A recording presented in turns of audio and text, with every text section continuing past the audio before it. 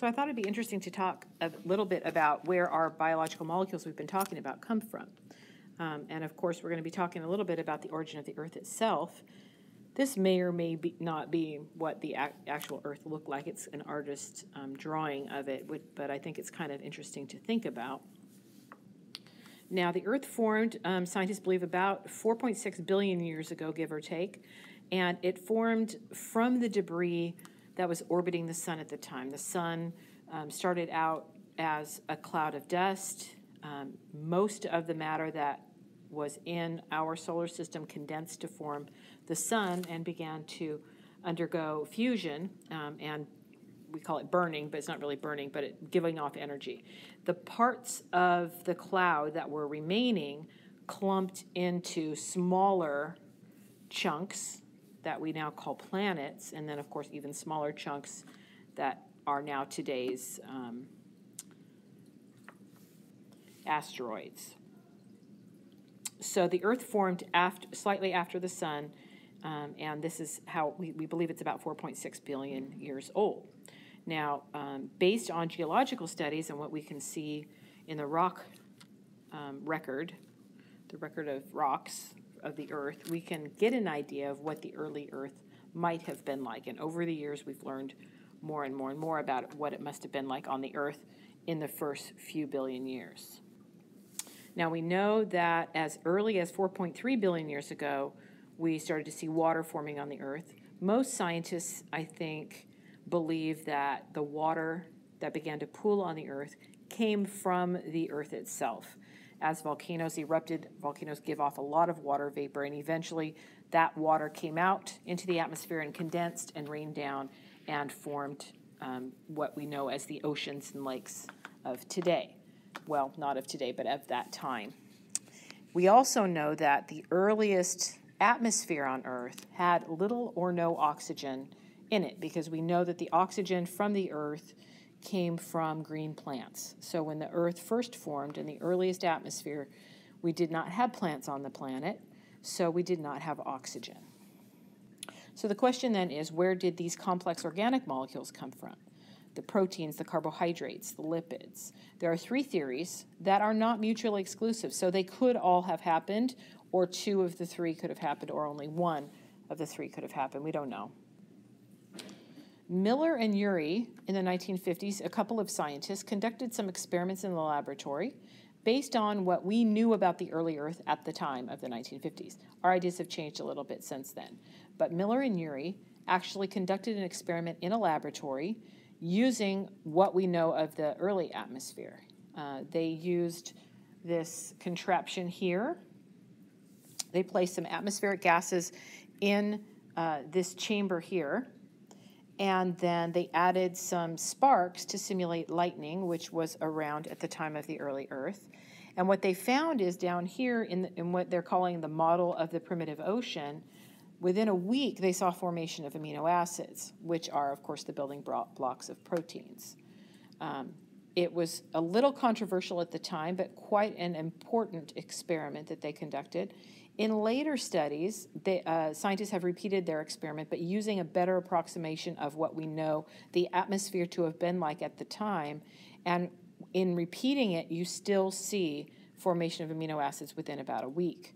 So in Miller's experiments, there was hydrogen, nitrogen, carbon dioxide, water vapor, and ammonia and methane. And I think most scientists today don't believe there was any ammonia or methane at the time. But even with these gases, water vapor, carbon dioxide, nitrogen, and hydrogen, you still see formation of amino acids after about a, a week.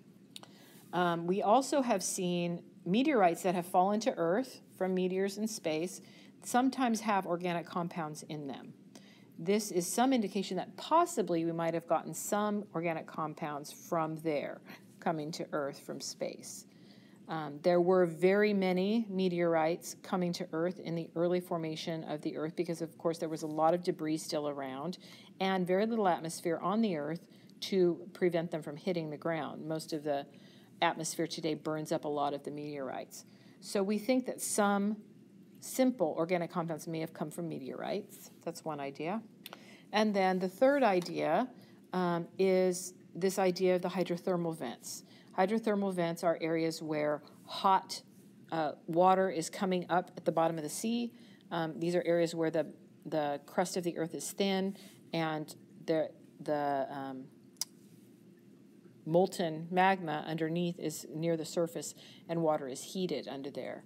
Um, in these areas, there's a lot of the kinds of things that come out of volcanoes, but of course, in the water, sulfur compounds and um, other kinds of compounds that you see coming out of volcanoes.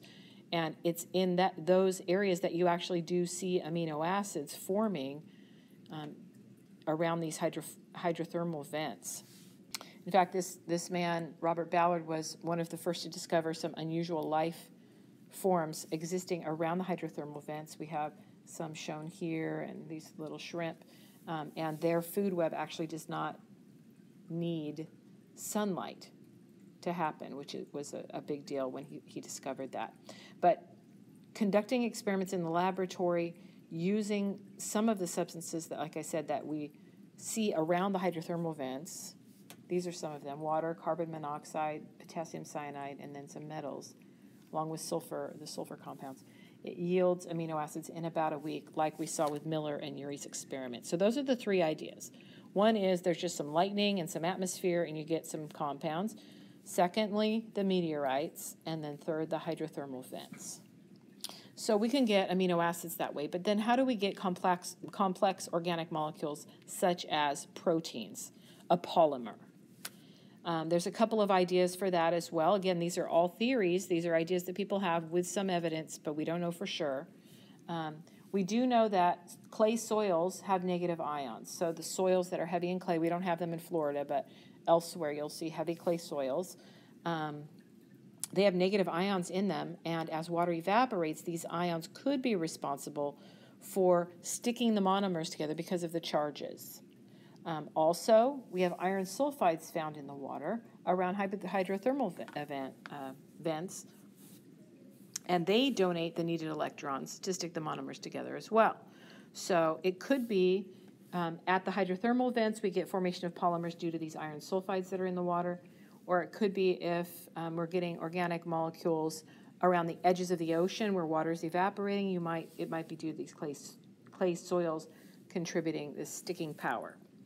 Um, what we do know is that modern organisms actually use iron and sulfur clusters as cofactors in um, and so it might be a remnant of these iron sulfide compounds around the hydrothermal vents that might be another piece of evidence for that.